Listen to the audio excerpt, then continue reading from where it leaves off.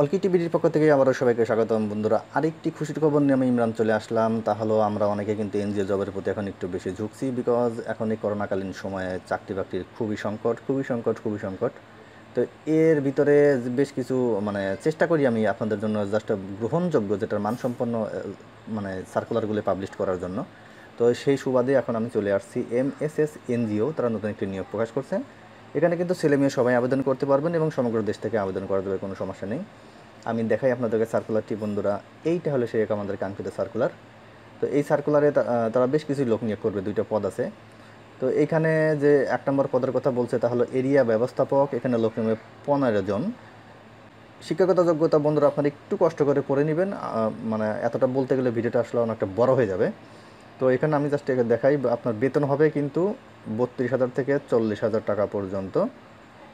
আর আপনার দ্বিতীয় নাম্বার যে পত্রিকতা তারা উল্লেখ করছে তা হলো শাখা ব্যবস্থাপক, এখানে লোক নেবে তিরিশ জন। এখানে বেতন হবে বন্ধুরা আঠাশ হাজার থেকে ছত্রিশ হাজার টাকা পর্যন্ত এবং অন্যান্য সুযোগ সুবিধা তো আপনাদেরকে দেওয়া হবেই।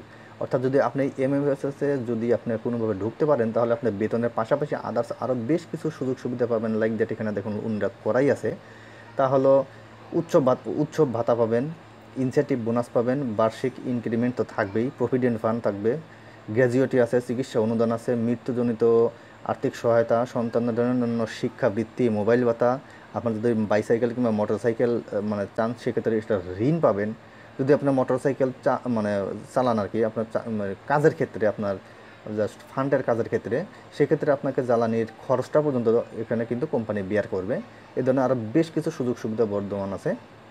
এবং অন্যান্য শর্তাবলী বন্ধুরা এটি একটু কষ্ট করে পড়ে নেবেন। এখন আমি আপনাদের জাস্ট একটু সংক্ষেপে বলে দিই আপনারা কীভাবে আবেদনটা করবেন।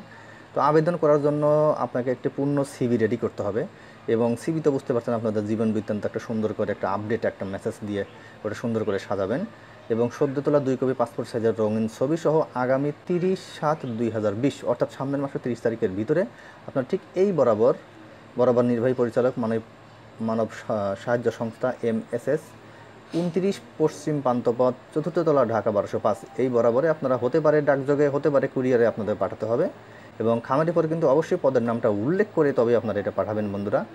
এরপরে বাকি যে কোনো বিষয়গুলো আপনারা যদি জানতে চান, অর্থাৎ এই মানে নিয়োগ সংক্রান্ত কোনো আপডেট কিংবা কোনো পরিবর্তন পরিবর্তন ওরা কিছু করছে কিনা, সেক্ষেত্রে আপনারা চাইলে ওদের এইখানে যে অফিসিয়াল ওয়েব অ্যাড্রেসটা দিয়ে আছে, এইখানে ঢুকে আপনারা একটু মানে ভিজিট করলে আপনারা পেয়ে যাবেন। তবে আমার বিশ্বাস যেহেতু করোনাকালীন সময় সো দ্যাট মাঝে মাঝে এখানে ওয়েবসাইট ভিজিট করা কিন্তু মোটেও লসের কোনো কারণ নাই। তো যাই হোক বন্ধুরা, এইটাই ছিল এখনকার মতো। আপনাদের জন্য ছোট্ট একটা মেসেজ আর আরেকটি ব্যাপার আমি একটু লাস্টে বলে দিই তাহলে আমি এই সার্কুলার লিঙ্ক আমার ভিডিও ডিসক্রিপশন এবং আমার প্রথম কমেন্টে আমি দিয়ে দিব। আপনারা ওইখান থেকে সরাসরি লিঙ্কে ক্লিক করলে আপনারা সরাসরি ঠিক এই অবস্থাতে চলে আসবেন। আসার পরে জাস্ট একটু নিচে নামলে সেই কাঙ্ক্ষিত সার্কুলারটি পেয়ে যাবেন, চিন্তার কোনো কারণ নেই।